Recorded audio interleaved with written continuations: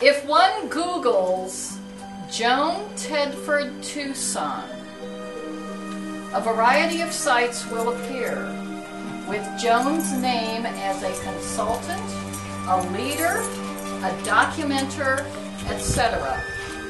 To name a few, Arizona Native Plant Society, Catalina State Park, Tucson Audubon, and Tucson Botanical Gardens.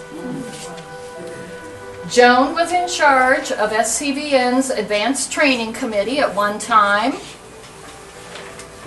The U of A herbarium faculty and other professionals have deferred to her and asked her for her opinion when identifying a plant. Personally, I have been privileged to have Joan as a friend and a receiver of her extensive knowledge for the past 15 years or more.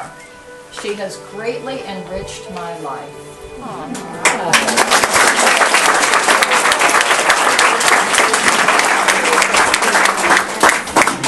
Alan, and Joan has it, and I feel very privileged to her friend and to go botanizing with her.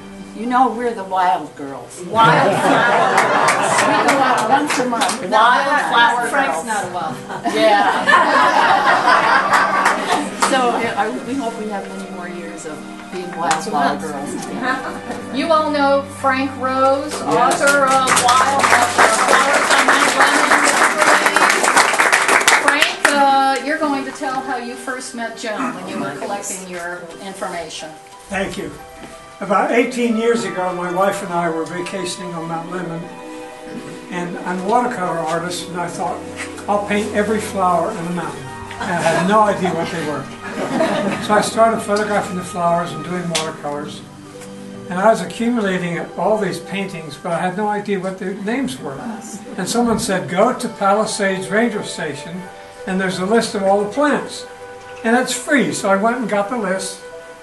How do you connect?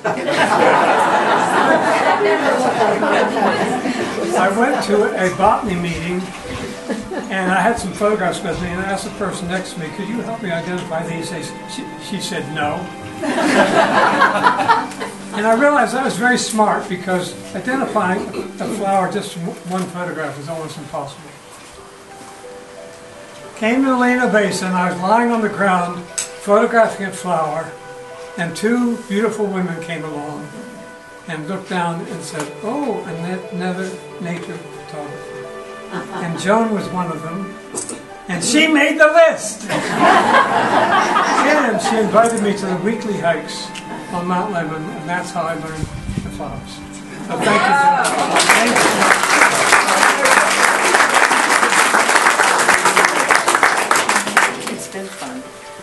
So what is the plaque that she has? What does it say? Ms. Joan Tedford, Emerita 2015. 2015. Wonderful.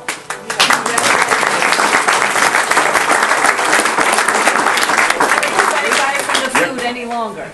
Well, we got to introduce officers. Yeah, Okay. All right. Kenny, are you ready? All right. All done?